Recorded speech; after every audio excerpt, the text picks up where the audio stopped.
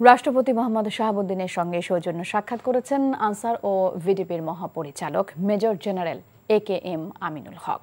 বঙ্গভবনে দুপুরে সাক্ষাৎকালে তিনি আনসার ও ভিটিপির সার্বিক কর্মকাণ্ড ও বাহিনীর সদস্যদের আর্থসামাজিক উন্নয়নে গৃহীত নানা পদক্ষেপ সম্পর্কে রাষ্ট্রপতিকে অবহিত করেন। এ সময় রাষ্ট্রপতি মুক্তিযুদ্ধ ও স্বাধীনতা পরবর্তীকালে দেশের আর্থসামাজিক উন্নয়নে আনসার ও ভিডিপির ভূমিকার প্রশংসা করেন।